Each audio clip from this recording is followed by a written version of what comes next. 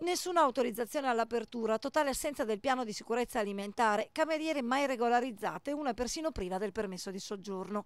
È questa la situazione scoperta dagli agenti della Polizia Locale della Federazione del Campo San Pierese in un bar di via Signoria ad Arsego, frazione di San Giorgio delle Pertiche.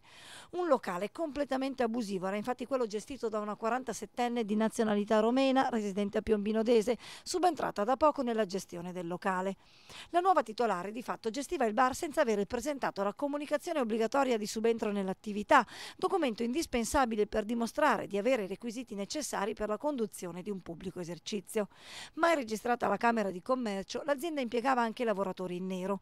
Durante i sopralluoghi, infatti, i vigili hanno trovato una prima volta una giovane cubana che agli agenti aveva detto di essere in prova, mentre il giorno successivo, dietro al banco, vi era un'altra giovane di origini brasiliane, sprovvista persino del regolare permesso di soggiorno.